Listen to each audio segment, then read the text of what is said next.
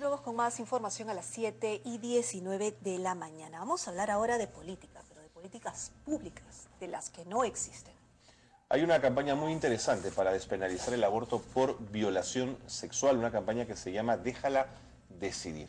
¿En qué consiste esta campaña? Bueno, Marilena Reyes, directora de la ONG Manuela Ramos, nos va a contar exactamente de qué se trata. ¿Qué tal, Marilena? Bienvenida, Marilena, gracias por estar con nosotros. Buenos días. Buenos días, ¿cómo están? Cuéntanos un poco sobre qué consiste esta campaña. Bueno, la campaña Déjala Decidir es una iniciativa no solo del movimiento Manuela Ramos, sino de la articulación feminista y de muchas organizaciones y de más de 100.000 ciudadanos y ciudadanas que han firmado para que haya un proyecto de ley que permita despenalizar el aborto en casos de violación sexual. Esto va a ser presentado como iniciativa ciudadana ante el Congreso de la República. Primero, claro, vamos a ir ante el Jurado Nacional de Elecciones este día jueves a entregar todo este lote de firmas. ¿Cuántas son? ¿Cuántas firmas han conseguido? 103 mil firmas, aunque la ley solo pide un 0,3%, que es como 59 mil mm. firmas. Vamos a entregar 80 mil para ver, pero tenemos firmas de, respaldo. Al año 2014, donde el aborto terapéutico ni siquiera está reglamentado, y no existe hasta el momento una ley de ese tipo que ustedes están proponiendo. Nadie en el Congreso de la República ha propuesto precisamente penalizar el aborto por violación. No, en el caso de aborto por violación lo que existe es el artículo 120 del Código Penal que sanciona con tres meses de, de pena a las mujeres que aborten cuando hayan sido violadas sexualmente y hayan quedado embarazadas. Entonces hay una, una sanción que nosotras consideramos que es injusta, es irreal y que atenta contra el derecho de las mujeres a decidir, porque en eso se centra la campaña. La campaña no se centra en el derecho al aborto, sino en que dejemos a las mujeres que decidan por sí mismas cuál va a ser su proyecto de vida, sobre todo tras haber sufrido una agresión tan brutal a su intimidad como es la violación sexual. De otro lado, señalar que el Perú es uno de los países que tiene la tasa más alta de violación sexual, lo cual es una vergüenza y lo que nos alerta para tener políticas públicas de protección a las mujeres. O sea que esta campaña no promueve el aborto? No, de ninguna manera promueve el aborto. Promovemos la, más bien la vida y la decisión de las mujeres que son las que, lo que decimos nosotras, si las mujeres pueden decidir, algunas o muchas decidirán que van a seguir adelante con sus embarazos, los llevarán a término y construirán un proyecto de vida con esos hijos e hijas aún en esa situación.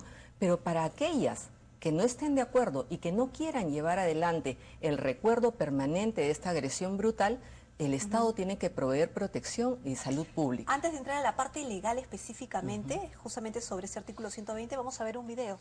Video la campaña, vamos a ver.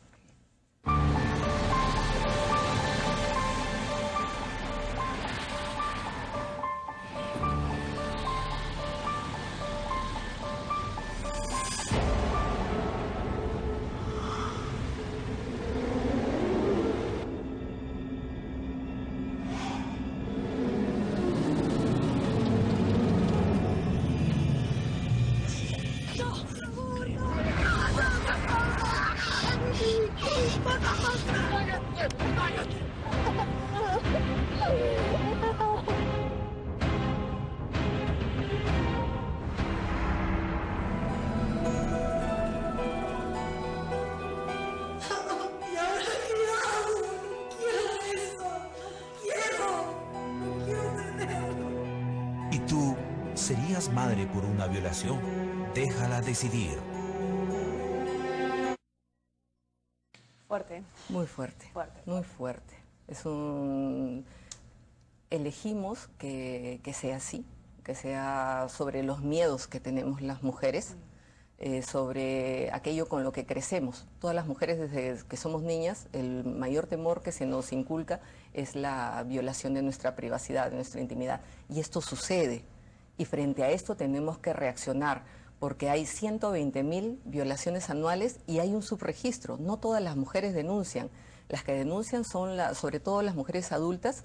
Estamos hablando de que hay un 5% de este número que estamos proyectando de violaciones sexuales en el país es la que queda embarazada. Estamos hablando de 5.550 más o menos violaciones, eh, embarazos forzados. Ahora, lo que a mí me llamaba la atención, y tú lo mencionabas hace un momento, es el artículo 120 del Código Penal ¿cierto? Que se le llama aborto sentimental. Sí, exactamente, mal llamado aborto. es cierto, es una torpeza, sí, ¿no? es una forma ofensiva de... Así es. Y aunque algunas personas podrían decir, pero bueno, son tres meses, ¿no? Eh, Tres meses no es cárcel efectiva, esos tres meses, ¿qué implica para la persona? Es algo tremendo porque aun cuando no tenemos mujeres, felizmente que no tenemos mujeres en nuestras cárceles por este motivo, las mujeres sí pasan por un proceso penal vejatorio ante la policía, ante la fiscalía, ante todo, el- todo lo que es el procedimiento penal y después son exculpadas porque, claro, tres meses no significa, para ir a la cárcel hay que tener penas de tres años más o menos, pero sigue criminalizada su conducta. Y lo que el mensaje que da a la sociedad es que el cuerpo de las mujeres tiene que ser regulado penalmente y que la maternidad es una imposición. Nosotras decimos no, a través de déjala decidir queremos decir la maternidad es una elección, no es una imposición. Y las mujeres tenemos la capacidad de decidir lo mejor que es para lo mejor para nuestro proyecto de vida. Los críticos a esta campaña dirán que Manuela Ramos y la articulación feminista lo que parecería que está buscando es que hayan más abortos. De ninguna manera. No, esta campaña, y lo repito, no promueve el aborto. Esta campaña defiende la vida. Esta campaña defiende la decisión de las mujeres que somos las únicas, porque habría que ponerse en nuestra piel cuando sufrimos estas agresiones brutales. Recuerden que estamos hablando de aborto por violación. Las únicas que podemos decidir si vamos a poder continuar con este embarazo o no vamos a poder. Para aquellas personas que están en contra del aborto en todos los sentidos y por todos lados, lo que mencionarían es, eh, bueno, pero la defensa de la vida somos nosotros, ¿no es cierto? Porque estamos defendiendo la vida de este pequeño que estaría por nacer, a pesar del argumento que tienen ustedes.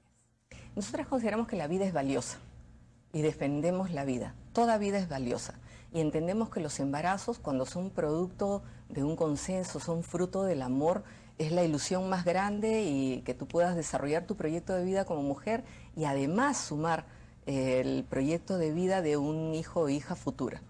Pero pongámonos en los casos de las mujeres que no decidieron esto, que sufrieron estas agresiones brutales, estas violaciones sexuales a su intimidad y que eso no se da solamente en el espacio público, como hemos visto en el ejemplo del spot, sino que también se da en nuestras casas.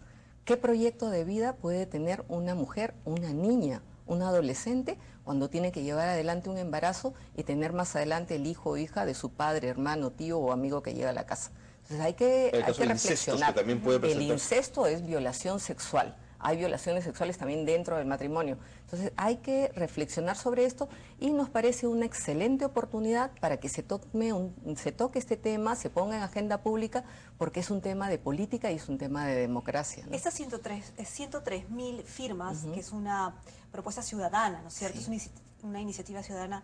¿Tiene eco en el Congreso de la República? ¿Hay congresistas que han acogido este Sí, proyecto? sí, hemos estado mm, trabajando con algunos, algunas de ellas que desde que iniciamos el proceso nos dieron su apoyo abierto y ahora seguimos en ese proceso. En este momento van a ser presentadas todas las firmas ante el Jurado Nacional de Elecciones, el jurado las enviará a la RENIEC, RENIEC las devolverá, las verificará y luego el jurado pasará todo este proyecto ante el Congreso de la República. Es valioso porque las iniciativas ciudadanas son muy pocas. Eh, las que tenemos como antecedentes de la ley sobre discapacidad, que se logró después de un tiempo a través de una iniciativa ciudadana que, por cierto, promovió Javier Díaz Canseco, y eh, tenemos la que está todavía encarpetada, que es la ley antitaurina.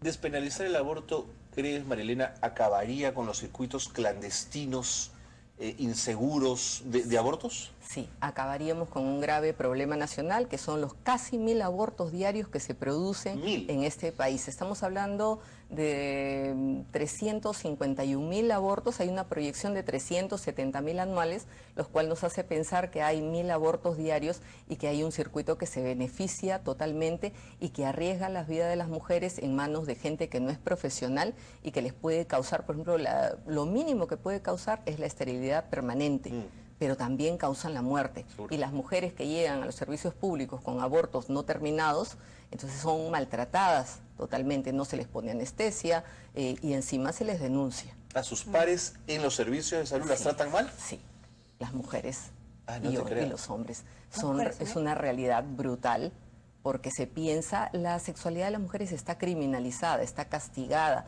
está bajo una lupa. Entonces se dice, ah, bueno, de alguna manera tuviste la responsabilidad de esa violación, ya sea por cómo te vistes, Ah, por sí. cómo te conduces, con ¿te quién lo te mereces así, ese Sí, señalamiento? es una cosa ¿Hombres y trágica. mujeres?